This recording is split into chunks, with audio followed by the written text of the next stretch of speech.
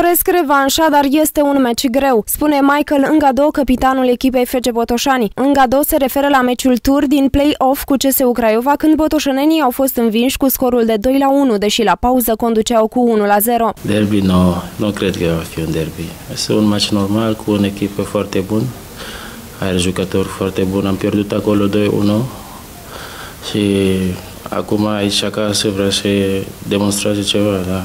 Este un meci greu și cred că dacă jucăm la fel, că jucăm aici acasă toate meciuri, sunt sigur că câștigăm meciul ăsta. Un revanș pentru noi, că am pierdut acolo cu 10 oameni, i-a primit cartonaj roșu și a fost 1-0 pentru noi, dar și am pierdut 2-1.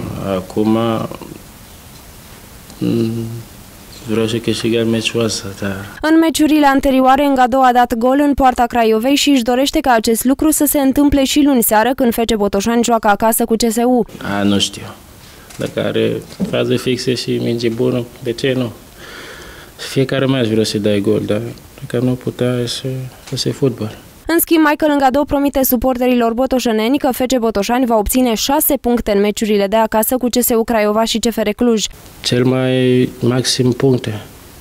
Și da, meciul acasă, alsa doi meciul acasă, CFR cu Craiova, Craiova cu CFR.